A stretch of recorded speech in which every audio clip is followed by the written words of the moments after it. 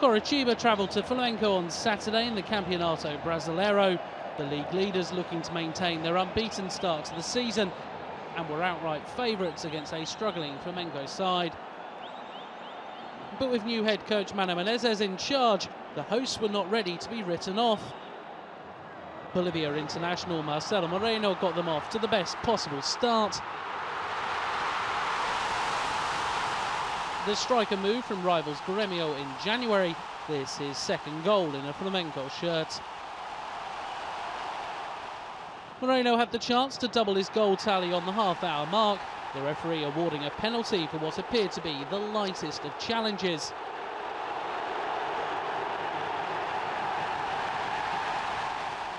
But the forward fluffed his lines from the spot, an easy save for Wanderlei.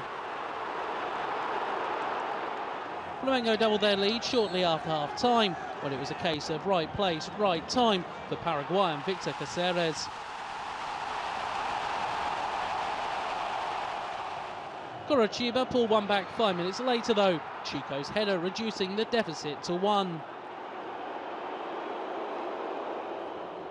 And the visitors were clearly in a scoring mood. A fine strike from Brazil international Alex levelling the match.